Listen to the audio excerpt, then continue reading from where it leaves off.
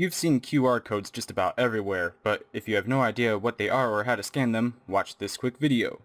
QR codes were made so that you can easily be linked to online information or downloads without having to input long URL addresses in your web browser. Now you can use Google Goggles or download a QR scanner from the Google Play Store, like this one, the popular QR code reader Android app. I have it right on the home screen. Now to scan a QR code, just hover the camera above it and it should automatically scan it. And this QR code links to the Android Noobz website, so it should take you straight there. And this is the Android Noobz blog roll on the Android phone.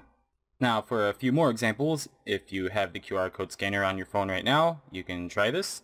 This QR code will take you to one of our YouTube videos about the UTech Qi charge pad for charging your phone wirelessly. This QR code will be a direct link to an Amazon product, which is the Anker Astro mini portable charger for smartphones and other devices. This link will take you to the Google Play Store, so you can directly download a game. You can test it out to see which game it directly links to if you want. This QR code links you directly to an image. You can try it out if you're interested. Now some other things you can do with QR codes, which is really cool, is make your own. Here at a website called qrstuff.com. You can make your own QR code.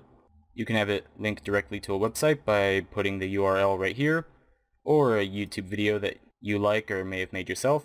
If you want to give a bunch of people directions really easily, find a place on Google Maps and save the location on here, and then they can scan the QR code and it'll automatically pop up on their Google Maps app.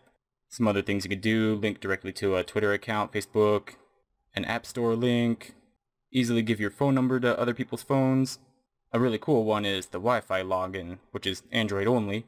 But here you could put in your Wi-Fi login information and print out the QR code and hang it up so when you have people come over you don't have to give them the password and manually type it in. They could just scan the QR code and link right to your Wi-Fi. Go ahead and give it a try.